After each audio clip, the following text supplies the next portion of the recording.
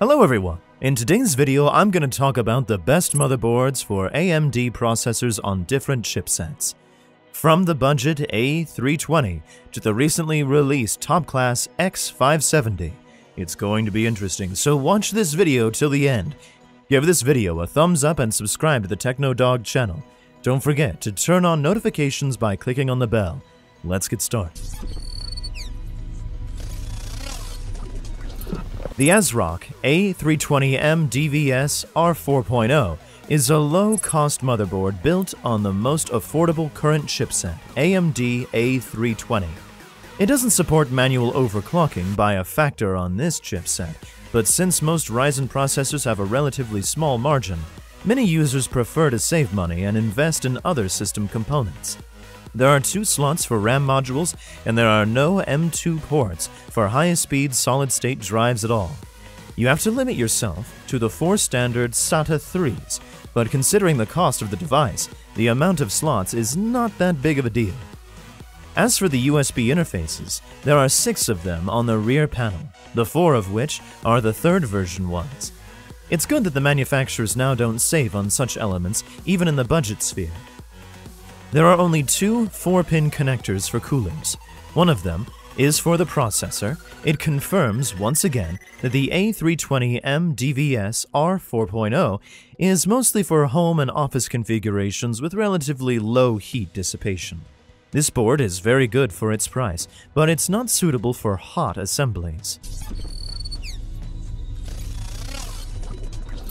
The AMD B450 chipset is the most popular choice among the Ryzen processors of the second and third generation. So it is not surprising that there are so many options for motherboards from different manufacturers on the market. As for the B450M S2H, the Gigabyte company relies on the maximum cost reduction of components while maintaining the ability to overclock and install the high-speed M2 SSD. The board is made in the Micro ATX form factor and allows you to use only two RAM slots and four SATA drives. As for its advantages, it is surprising that even in such a low-cost MP, the manufacturer invested into the processor power subsystem.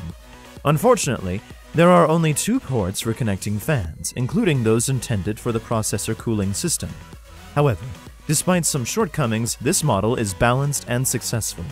Gigabyte managed to create a compact model with a good base, suitable for overclocking and for a very modest price.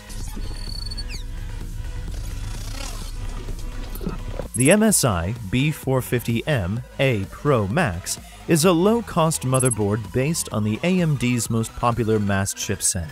Used both in low-cost home and office configurations, as well as in higher-end gaming and working assemblies. A set of connectors and interfaces is quite typical for this segment.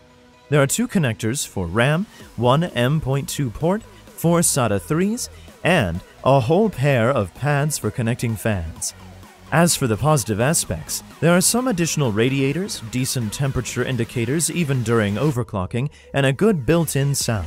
As for the negatives, there is only one PCI Express X1 slot.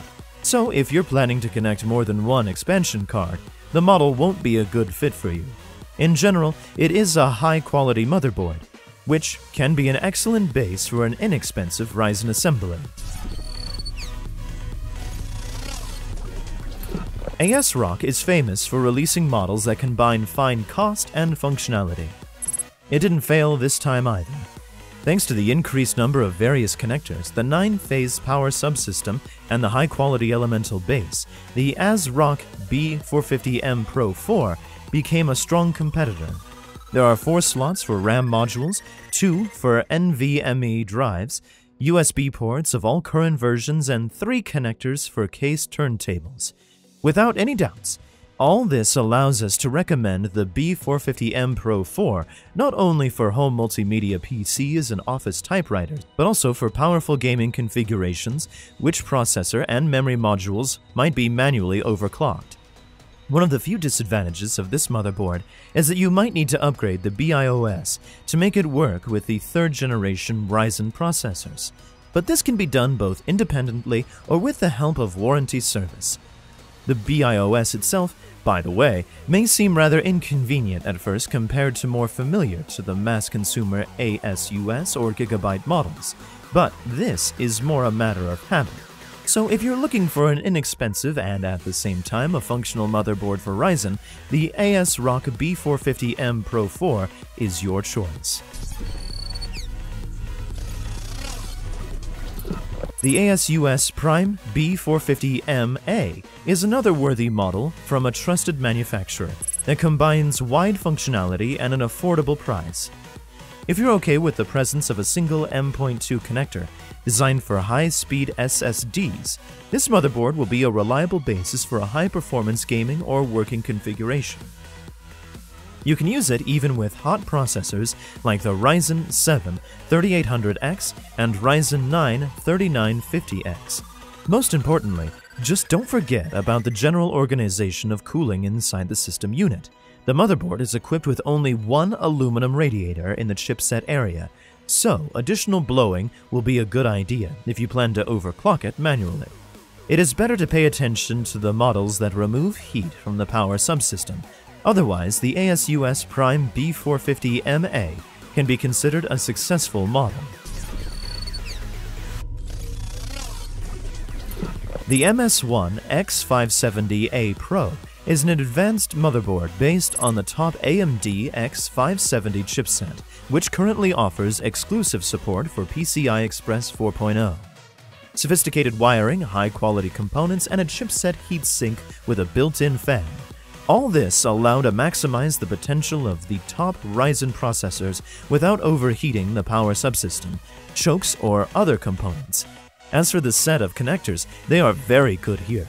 In addition to the usual four slots for RAM, there are five PCIe slots, two of which are X16, a couple of M.2 and USB ports of all current versions, those who prefer high quality sound will appreciate the presence of an optical output and the use of the Realtek ALC 1220 audio codec.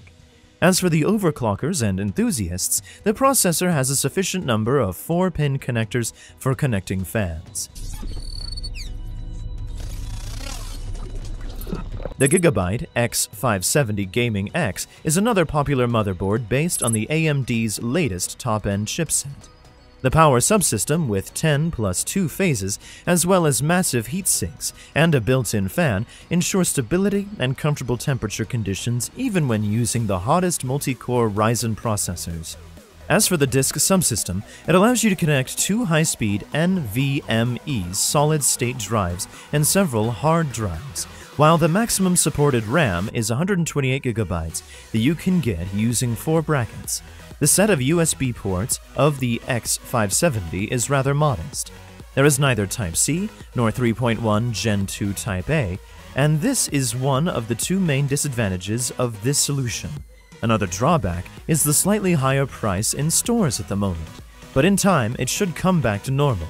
Then, the Gigabyte model will be an excellent choice for productive assemblies.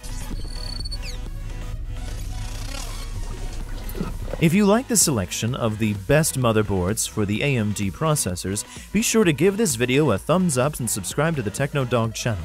And don't forget to turn on notifications by clicking on the bell, so you will always be the first to watch new reviews, tops, and ratings.